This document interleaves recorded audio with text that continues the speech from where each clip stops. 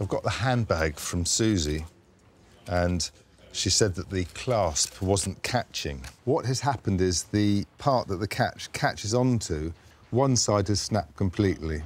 There's a little pin, which I've just taken off, which is broken, and that comes through from the front to the back. And what I thought I would do is to glue some really thin tube onto the pin, through the hole, and hopefully that will hold that all in place. That's great. That really, that's nice and tight on there.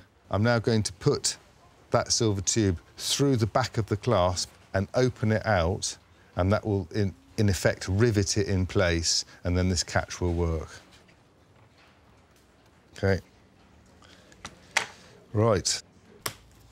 There we go. I'm going to give this clasp a bit of a polish up because it's a bit dull, and then it'll be ready to give back to Susie.